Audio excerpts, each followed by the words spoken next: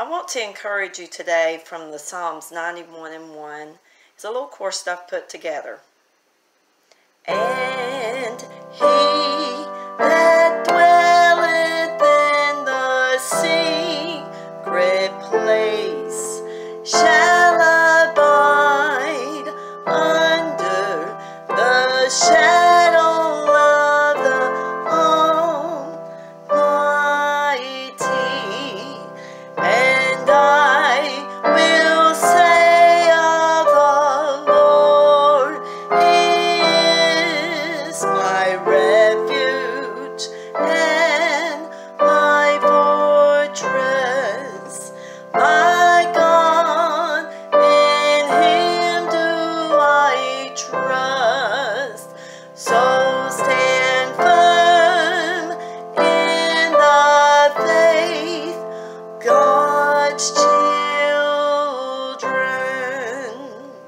Be strong in the Lord.